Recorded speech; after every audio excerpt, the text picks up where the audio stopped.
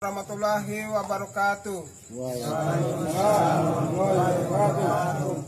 Terang sebagai kader Ansor Banser Papua Barat ingin menyampaikan bahwa Ansor dan Banser diterima dengan baik oleh masyarakat. Sebagai kader Ansor Banser, Toran diajarkan untuk hidup saling menghormati dan menghargai sehingga tercipta kehidupan yang damai antar sesama anak bangsa. Mari sama-sama Toran jaga Papua dari kelompok-kelompok yang suka mengadu domba dan ingin memecah belah. Papua, cinta damai. Wassalamualaikum warahmatullahi wabarakatuh.